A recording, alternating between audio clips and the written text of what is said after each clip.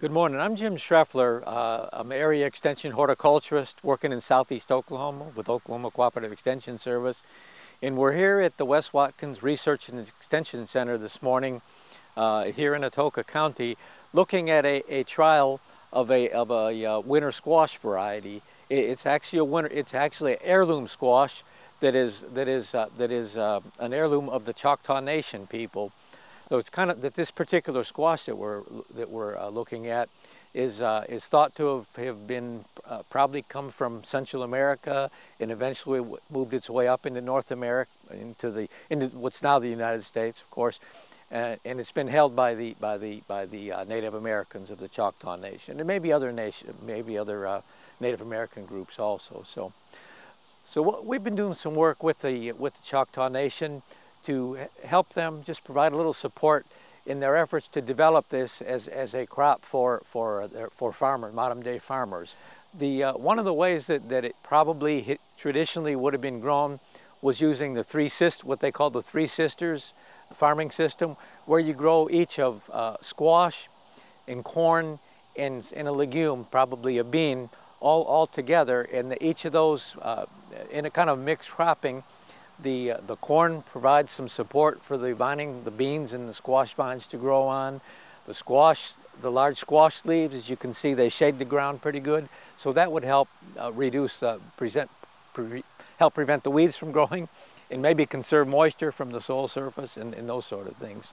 So what we're doing here is, this is a trial actually where we're trying to figure out what would be the best plant spacing. You know, for, for 10 feet a row, how many plants did you plant there? To produce the best yields and the best fruit size and those sort of things. So, so that's what this is here. And we, our treatments are actually uh, either uh, per 10 feet a row, either two, four, six, or eight plant squash plants. And we can see over here we have a plot where we had just two plants per 10 feet. And then right here we have a plant, uh, a, a, plot where the plants are much closer together and there's eight plants per 10 feet a row. So uh, when the fruit ripen, it, it, again, it's a winter squash, so it's a it's squash that it matures, it gets pretty firm. Here we have a, a mature one, and now this is kind of just set here for looks, but actually this fruit was harvested a year ago, or nearly a year ago in September of, of last year. So that gives you an idea what the fruit look, would look like. They, they might be sometimes a little bigger, sometimes a little smaller, but, uh, but again, it's, this has just been sitting indoors uh, in, in, in my office for since it was harvested, still nice and firm. So, so it's a very good, uh, has good storability. So you get an idea. Very attractive, but also very nutritious. And I won't cut it open, but the fruit is very nice, deep orange color, uh, and it, it, it's very tasty. It's a very tasty and, and uh, enjoyable fruit for eating. So, so like I said, this is uh, this is a project we've been doing in cooperation with the Choctaw Nation, and that's part of a bigger bigger project. That we, we've had going on for several years now to work with Choctaw Nation, uh, both adults and youth, uh, on growing fruits and vegetables to, number one, to learn how to grow fruits and vegetables, and number two, to learn how to market them.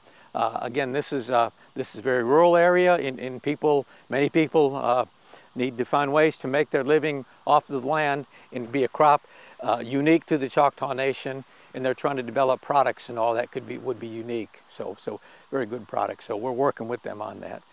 Now uh, I'm going to be taking be making some changes in my career in the near future, and I've been I've been the uh, the the lead person on this project, uh, having working with adults and, and youth, Choctaw adults and youth with growing fruits and vegetables. And uh, but, but within a short period of time here, uh, Dr. Shelley Mitchell from the uh, OSU Landscape and Horticulture Department is going to be taken over as the as the uh, the director of this project, and I think this is going to be this is very timely. Um, one thing that we've uh, the direction of the project has has again we work with farmers in the area.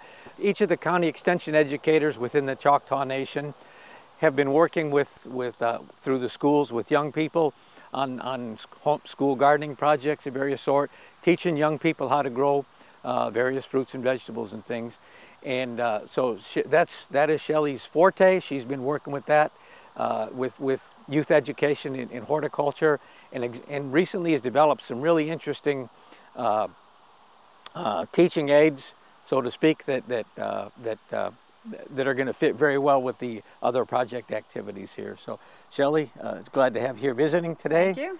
And we're really pleased that you've been willing to take on this role of working with the project and all. And well, I hope I can keep up with your awesomeness. All right. So I, de I developed a couple of kits we're going to be giving to the kids, and uh, one is the Gardens to Go kit we've shown in other uh, episodes, and it has 18 activities for elementary children. And then we also have a kit for the older children, which is plantology, and it has 12 activities that are more in-depth. So we'll be integrating this into the project with the Choctaws. The county extension agents are also very involved in this project. And so if you're interested in this project, for more information, you can contact your local county extension agent. We hope you enjoyed this video. It's part of our Oklahoma Gardening YouTube channel. You can also find even more videos on our OK Gardening Classics YouTube channel. And join us on social media for great gardening tips, photos, and discussion.